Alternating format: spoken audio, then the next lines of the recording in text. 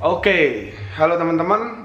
Eh, berjumpa lagi dengan saya Ditya. Di video kali ini saya akan sedikit sharing eh, masih berkaitan tentang bisnis online pastinya Eh, karena memang eh, istilahnya saya fokus di online gitu ya.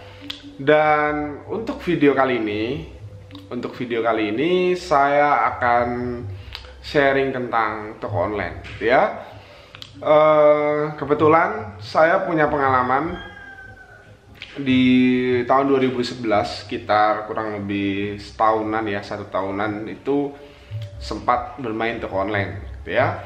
Kemudian di tahun 2015 itu saya juga beberapa kali bertemu dengan eh, kawan sekaligus klien saya di mana eh, waktu itu di tahun 2015 saya juga membuka sebuah eh, service untuk klien pembuatan jasa pembuatan website toko online. Jadi saya juga punya klien waktu itu akhirnya selain bikin websitenya, akhirnya saya juga memberikan konsultasi. Itu. Selain itu saya juga eh, banyak dapat pengalaman karena beberapa kali juga disuruh manage toko online-nya. Yang pasti bukan disuruh jadi CS ya, gitu ya. Karena saya nggak begitu ahli untuk jadi CS toko online gitu. Nah, gini eh, selanjutnya kebetulan istri saya itu di tahun 2000 sejak tahun 2013 malah itu eh, sorry bukan 13 14 2014 sampai eh, 2017 kemarin setelah menikah dengan saya itu eh, masih menjalankan toko online-nya. Jadi banyak sekali juga pengalaman yang saya dapatkan dari diri saya sendiri, dari klien saya, dari orang terdekat saya. Oke. Oleh karena itu di video ini saya eh, akan membagikan tips sekaligus trik ya yang sebenarnya eh, ini sebenarnya sudah umum gitu. Cuman kebanyakan eh, dari mereka itu tidak memberikan studi kasus secara langsung. Gitu. Padahal yang dibutuhkan oleh eh, marketer seperti kita itu adalah studi kasus. Gitu. Menurut saya seperti itu. Kenapa? Karena dengan studi kasus itu kita bisa langsung tahu apa masalahnya, kemudian eh, seperti apa di lapangan dan kemudian eh, kekurangan dan kelebihannya seperti apa, kemudian solusinya seperti apa. Oke. Oleh karena itu, di video kali ini saya akan memberikan beberapa tips dan trik sekaligus studi kasusnya langsung. Oke. Yang pertama, karena di sini goalnya adalah goal untuk eh, agar toko online-nya teman-teman itu nggak sepi gitu ya, nggak nggak sepi atau eh, setiap hari intinya kebanjiran order lah, gitu ya kalau kebanjiran order otomatis uh, omsetnya naik profitnya juga naik oke? Jangan sampai omset naik tapi profit nggak naik ya jangan sampai. Karena kebanyakan orang-orang ini uh, tertipu sama kamuflase lah istilahnya kamuflase omsetnya sekian ratus juta dalam satu bulan tapi ternyata profitnya nggak nggak begitu besar percuma menurut saya ya. Jadi kalau gedein omset juga harus gedein profit okay? goal kita adalah profitnya gede, gitu ya. Jadi ordernya harus banyak. Bagaimana caranya toko online-nya agar selalu kebanjiran order? Tips yang pertama untuk teman-teman adalah jangan pernah lupa belajar, belajar, belajar, belajar tentang traffic source. Oke, okay? sudah pernah saya bahas tentang traffic source di channel ini juga, gitu ya jadi silakan scroll scroll cari di video saya itu sudah pernah saya bahas tentang traffic source. Oke, okay?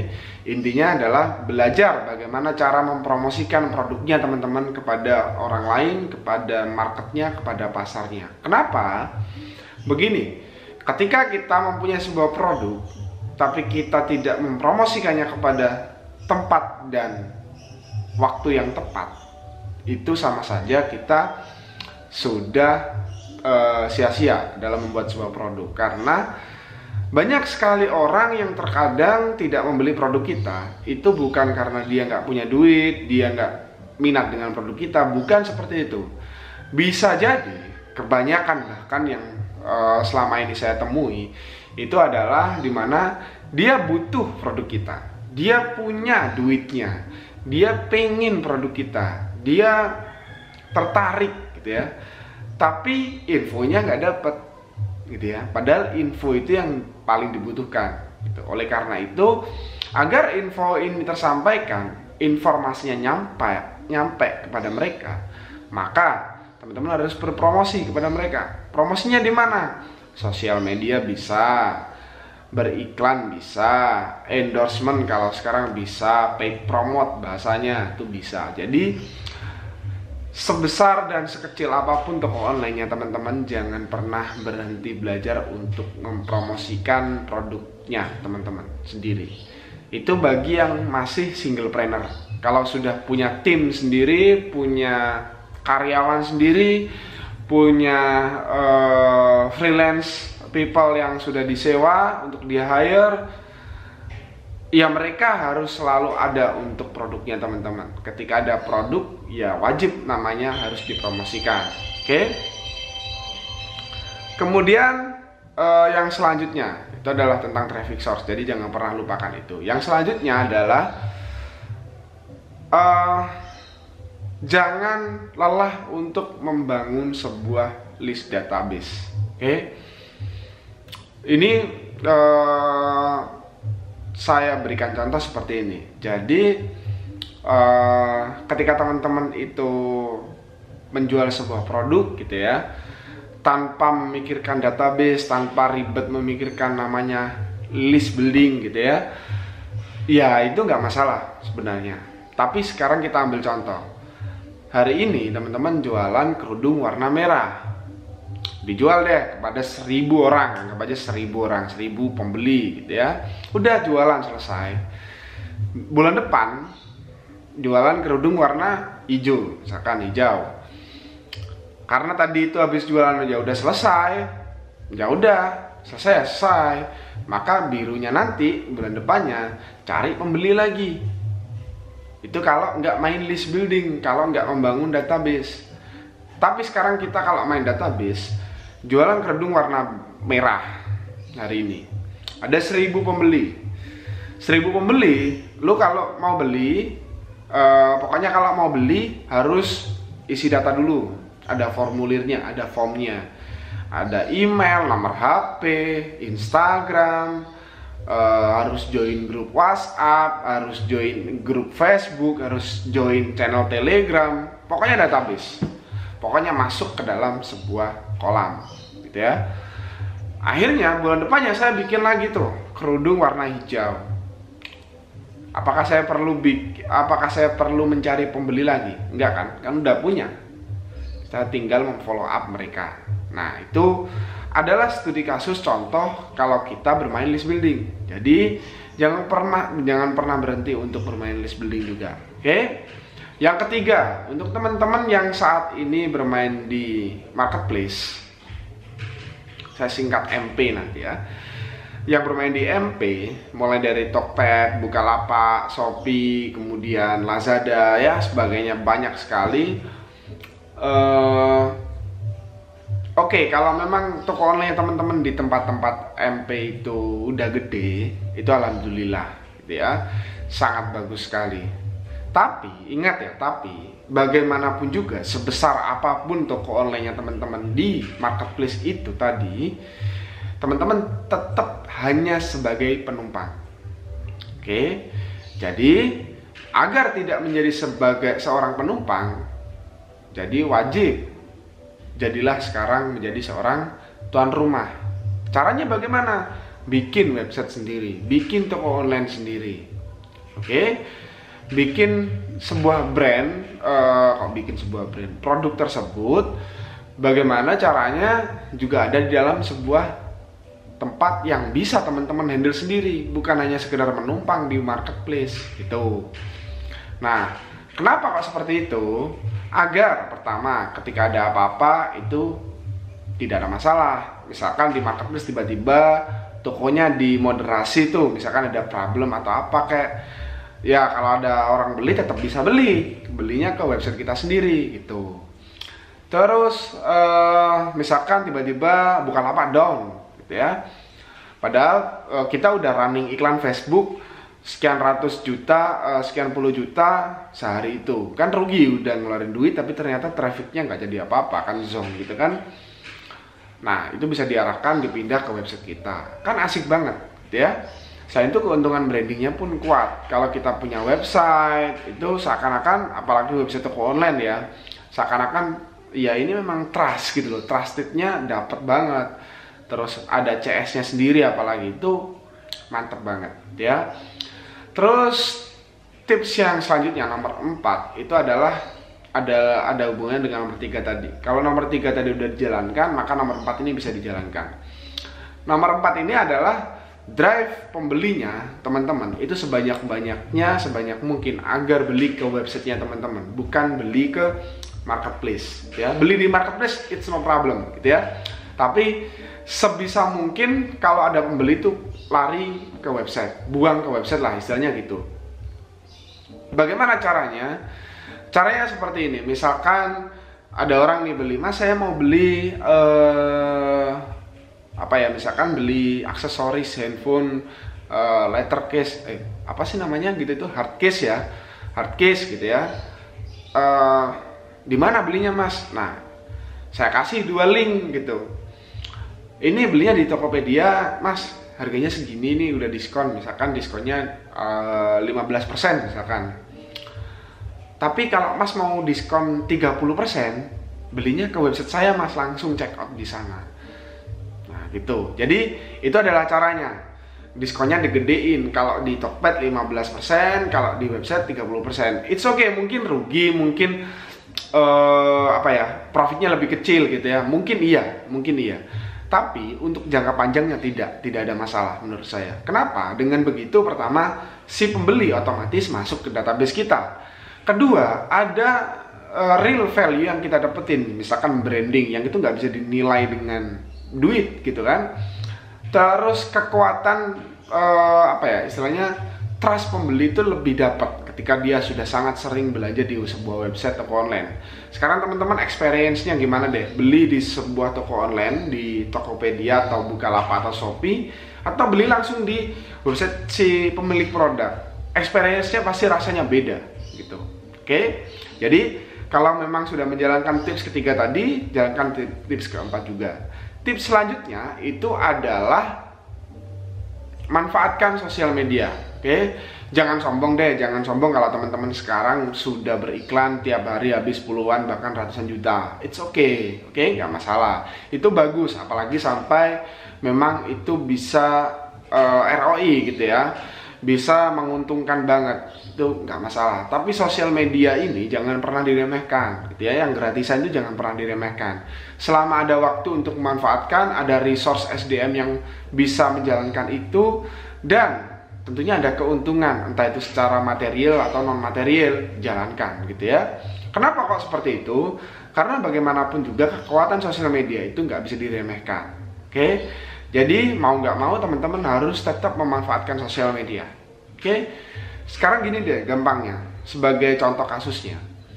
Kalau teman-teman sekarang buka Instagram itu kan banyak tuh artis-artis entah itu Indonesia atau luar atau misalkan atlet entah itu dari sepak bola, atlet basket dan lain-lainnya, mereka udah banyak duit loh. Mereka udah terkenal, followers udah jutaan bahkan ratusan juta. Tapi buktinya masih jualan tuh di Instagram, masih sering apa uh, swipe up misalkan gitu. Kenapa? Karena mereka sadar, gitu kan? Mereka sadar bahwa sosial media ini potensinya gede. Gitu. Nah pertanyaannya sekarang, mereka yang udah gede aja masih memanfaatkan itu yang udah jadi artis lah ibaratnya mereka itu udah nggak kurang-kurang kalau masalah uh, exposure dan juga informasi gitu ya untuk trafficnya udah nggak kurang-kurang tapi mereka masih manfaatin itu pertanyaan sekarang teman-teman yang mungkin bahkan di bawah mereka masa sih nggak manfaatin seperti itu gitu kan kan aneh juga tuh terus tips selanjutnya itu adalah aduh saya lupa nih Sebenarnya materi ini uh, ada kaitannya dengan Instagram story saya yang sudah saya share gitu ya. Nanti teman-teman bisa follow saya di Instagram langsung. Di situ ada tips dan triknya tentang toko online. Jadi tips selanjutnya adalah uh, membangun jaringan.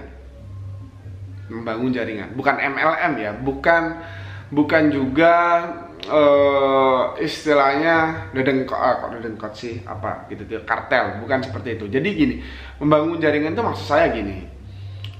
Contoh nih contoh uh, teman-teman jualannya handphone deh ya handphone gitu ya kan penjual handphone juga nggak teman-teman aja gitu kan. Nggak nggak dirimu saja gitu kan. Ada banyak uh, ratusan bahkan ribuan orang lain yang jualan handphone gitu.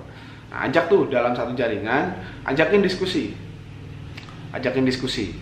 Ajakin diskusi dengan tujuan bahwa kita bisa berkolaborasi. Nah ini poin pentingnya oke? Okay? jadi poin pentingnya ada poin pentingnya ini ada di dalam kolaborasi ini oke? Okay? ketika jaringan itu terbentuk kita ber, bisa berkolaborasi in case contohnya misalkan ada masalah nih. Wah ternyata uh, Facebookku iklannya boncos nih gimana nih? Coba bayangin kalau di situ nggak ada uh, nggak ada misalkan penjual yang sama atau uh, mirip gitu. Mau diskusi dengan siapa? Diskusi dengan uh, musuh kan nggak mungkin. Meskipun musuh pun mungkin nggak ada. Maksud saya itu uh, gimana ya? Seperti jaringan yang bisa diajak untuk berkolaborasi seperti itu itu lebih enak ketika jaringan itu uh, ada kita akan lebih mudah untuk berkolaborasi gitu kan? Tadi saya jelasinya dengan kolaborasi maka kita punya peluang banyak sekali untuk scale up bisnis kita. Selain itu juga sudah silaturahmi pastinya ya. Kemudian teman ada problem kita tinggal curhat. E, lebih la, e, apa terlebih lagi misalkan kita punya apa ya e, misalkan dia punya dana saya nggak punya dana. Dia uh, saya punya produk tapi dia nggak punya tim. Kan bisa kolaborasi. Misalkan seperti itulah contohnya. Oke? Okay? selanjutnya tips selanjutnya. Oke? Okay? jangan lupa videonya dibagikan ke yang lain ya biar bermanfaat. Oke? Okay? jadi jangan disimpan sendiri video ini. Tips selanjutnya itu adalah di mana teman-teman itu wajib hukumnya untuk riset produk spy bahasanya spy gitu ya. Riset produk tanpa henti kok tanpa henti mas? Iya. Karena gini perkembangan digital dunia digital itu di tahun 2019 ini sudah bukan seperti di tahun 2011 2012 2013 2014 ya. Sekarang orang pun bisa terkoneksi dengan internet hanya dengan menggunakan HP orang pun sekarang tidak perlu uh, harus punya PC untuk bisa jualan online. Orang pun sekarang uh, nggak harus punya uh, internet kenceng uh, sorry kok internet nggak harus punya internet mahal. Sekarang cukup berlangganan 300 sampai 500 ribu sudah bisa connect internet sebulan penuh itu kan? Itu contoh aja. Jadi perkembangan yang begitu pesat itu mengakibatkan ketika kita sebagai pelaku bisnis digital gitu ya di dalam digital marketing ini ketika kita tidak belajar belajar belajar dan belajar sekaligus berinovasi maka kita akan ketinggalan gitu.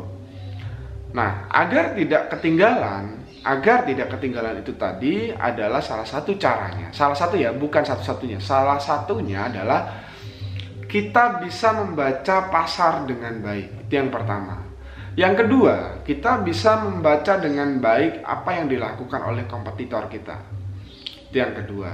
Yang ketiga, kita bisa tahu kesalahan kita di dalam pasar tersebut dalam masuk ke dalam pasar itu. Ketika kita sudah jualan di dalam pasar itu, apa sih kesalahan kita gitu. Nah, solusinya agar kita tahu tiga hal tadi adalah dengan cara riset gitu. Contohnya gimana, Mas? Coba sekarang buka HP-nya, download aplikasi Tokopedia atau Bukalapak atau Shopee. Karena itu aplikasinya gratis. Cari aja di situ produk-produk yang mirip dengan produknya teman-teman. Jualan HP, cari di situ HP. Jualan case uh, smartphone, uh, semua brand atau semua merek, cari di situ. Gitu. Bagaimana sih cara mereka promosi? Bagaimana sih cara mereka bikin display produknya? Bagaimana sih cara bikin deskripsi produknya? Bagaimana sih caranya mereka posting itu jam berapa sih sebenarnya? Nah itu kalau kita nggak riset nggak bisa. Kalau kita nggak spy mereka nggak bisa. Terus cari lagi produk yang laris. Ini apaan sih di Tokopedia? Cari lagi cari lagi. Oh yang laris ini ini ini ini, ini. oh yang nggak laris ini ini ini. Dari situ kita bisa simpulkan. Kita bisa menarik sebuah kesimpulan sementara di luar ini ya di luar kita bermain data apa uh, model bisnis canvas misalkan gitu bukan itu dulu. Itu lebih rumit nanti. Bikin aja oret-oretan gitu apa coret-coret di kertas gitu ya. Oh ini kompetitor saya dilakuin saya nggak ngelakuin saya ngelakuin kompetitor saya nggak ngelakuin. Oh di marketplace ini nomor satu yang paling banyak dicari kayak gini kayak gini kayak gini gitu. Nah dengan begitu kita bisa tahu kita mau ke mana uh, kita harus ke mana kita harus jualan apa kita harus nembak market siapa kita harus memperbaiki apa di dalam uh, kesalahan-kesalahan yang kita lakukan misalkan. Jadi kita bisa tahu semua itu. Oke? Okay? dan uh, dengan semua yang dijalankan dalam riset itu memang membosankan ya. Nanti ya pasti silakan dicoba aja. Membosankan nggak enak capek nggak dapet duit. Tapi ini ada tapinya nih. Riset itu adalah kunci di awal di mana teman-teman menemukan sesuatu yang sebenarnya simpel tapi sangat signifikan memberikan dampak sama penjualan produknya teman-teman. Oke, itu aja video dari saya. Uh, sudah cukup lama, hampir 20 menit ya. Bahkan mungkin lebih ya 20 menit ini ya. Saya rasa itu aja, semoga bermanfaat. Jangan lupa uh, share video ini ke orang lain agar bermanfaat juga. Kalau ada apa-apa silahkan komentar aja. Nanti kalau memang ada yang ingin didiskusikan silahkan sampaikan saja. Oke, sampai sampai jumpa di video saya selanjutnya. Dadah.